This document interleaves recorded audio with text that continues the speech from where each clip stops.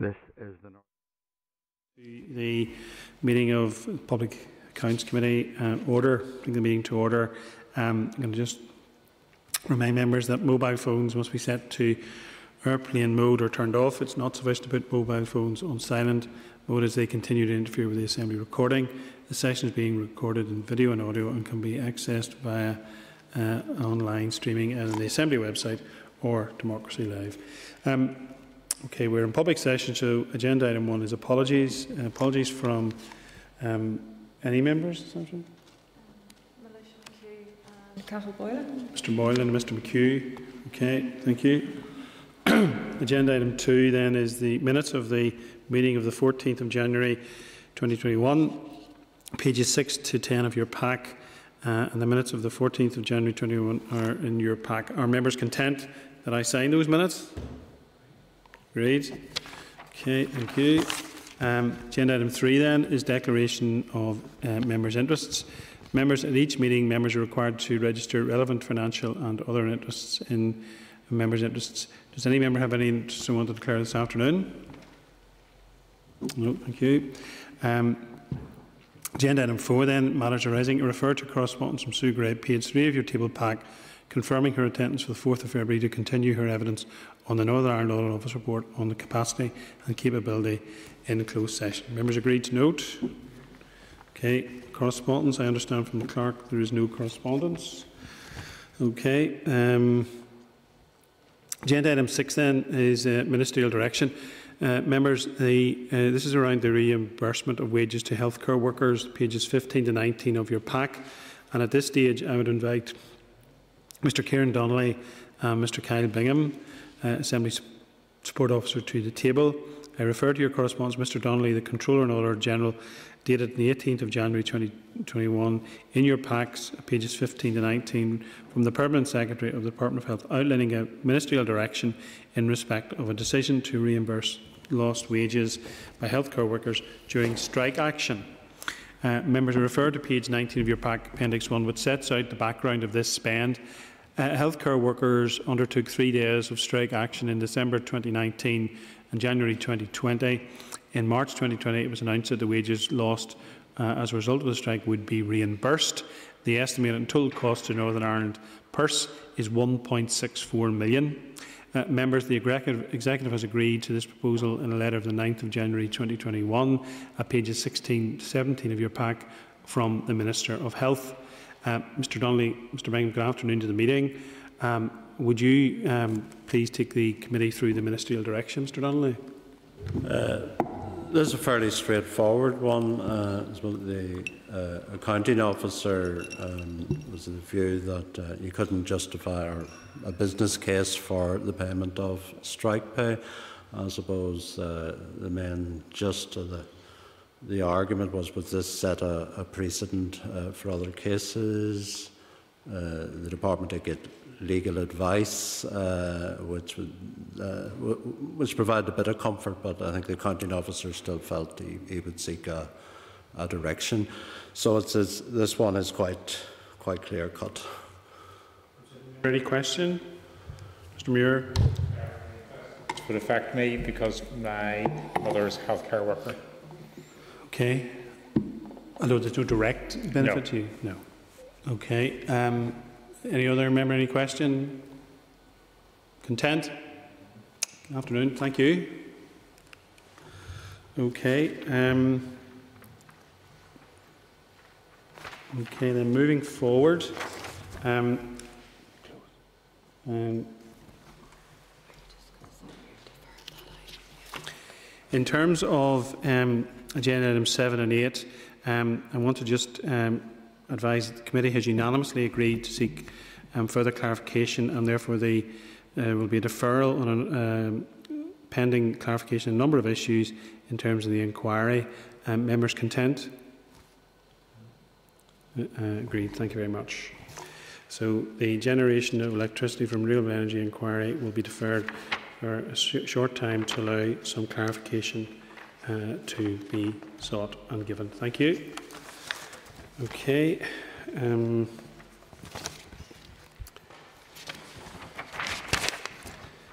Okay, agenda item nine then is the forward work programme, which is in your pack, pages 117, 118, 119 and through to 238 uh, in terms of Justice Committee correspondence. Um, and I would invite Mr Donnelly to remain at the table.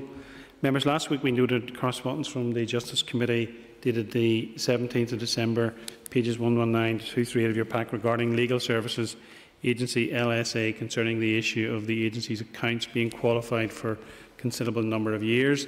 The Justice Committee suggests uh, PAC carry out a further inquiry into managing legal aid uh, on uh, from the PAC's 2017 report, the Legal Services Agency, the LSA Northern Ireland Annual Report and accounts for year ending the 31st of March 2020 are also included in this correspondence.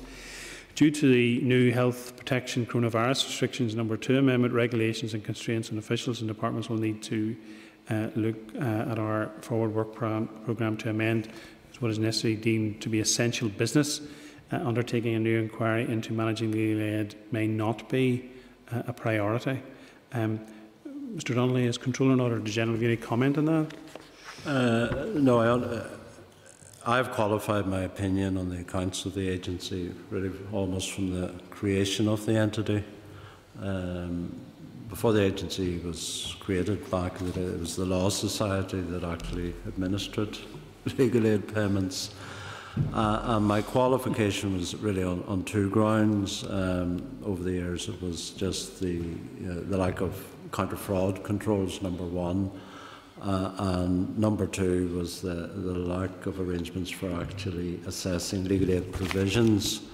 Uh, so there, there, was always difficulty over the years in getting a grip on the, the legal aid budget. Uh, a decision would be made to support particular cases, uh, but tracking the expenditure on those was quite difficult. Often uh, invoices from law firms were sent in uh, in bulk, you know, many years after a, a case has been approved. Uh, what I can say is, uh, although I've qualified this account uh, for many years, uh, my qualification last year was wasn't as critical as earlier qualifications, uh, and uh, at least on one of the accounts on the provisions, I think we can see. Um, a possibility that that could be lifted next time around. So the accuracy of the provision figure is uh, it's not there yet, but it's an awful lot better than it was uh, a few years ago. Uh, on the, the, fraud thing, um, one of the, your predecessors' uh, recommendations was that there would be a statutory registration scheme for uh, solicitors administering legal aid. So, uh, if you want to, you know, available aid in Northern Ireland. You can go to any solicitor. There's no registration scheme uh, for solicitors. That, that's a long-standing recommendation, uh, and uh, I think that, so. We'll need legislation to move on that. Uh, I suppose my suggestion is uh, your predecessors have looked at this uh, area twice actually over the years. Um, it has improved. Uh, but there may be an option to, to actually for you to write out to the uh, to the department uh, to get an update on uh, outstanding issues uh, in the first instance, and then uh, you, when that comes in, then you can further consider if anything else needs to be done. Okay. Any member any question on that? Or are you content? Content? Yeah, sure. How many? What, are there any years where you haven't qualified the accounts? Uh, I'm trying to think. it's, it must be nine or ten, right from the, really the word go. Uh, so, uh, but what I can say is the, the, problems were much more serious back in time, uh, and there has been improvement. Uh, so while I still have the qualification, I'm closer to lifting at least one of the qualification counts. The qualification is now in some part due to a structural issue to do with the design of the delivery of legal aid as much as the behaviour and practice of individuals in the legal services agency? It's how the business is run uh, is one dimension of it, and uh, when the agency, when your predecessors took evidence uh, back in 17, uh, just the whole managerial setup in the agency was scrutinised. Uh, and uh, what I can say is there's a stronger senior team in there than there was uh, a number of years ago. So that, that's another positive. Members, could I just point out that um, if you're content, we will write to the Department of Justice for an update on how it's progressing with the recommendations um, in terms of managing legal aid. And if you recall, the committee agreed to seek a further update in February 2020 biannually until it was satisfied that sufficient progress had been made against those recommendations. Okay? Is that all right? Everyone content? Okay, thank you.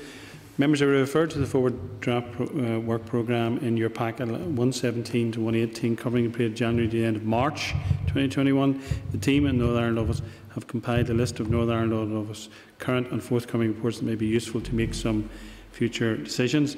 Uh, are you content that we look at next week's meeting and decide how we're going to do business during COVID and the COVID regulations? Um, members, any comments? Okay. Um, and therefore, can I ask the clerk to take us through the formal work programme, any changes that we need to note or make uh, next week? Uh, we will have evidence session for our fifth inquiry.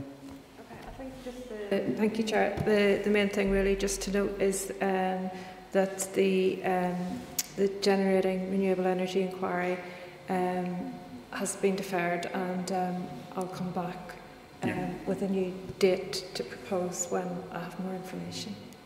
Okay. Members content? Members, any comments? Okay. Um, okay. Agenda item 10 then is um, any other business? Any other business? Okay.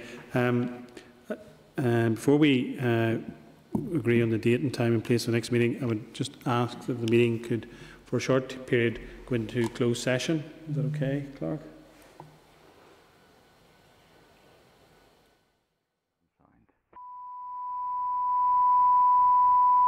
This is the Northern Ireland Assembly plenary programme signed. This is the Northern Ireland Assembly plenary programme signed. This is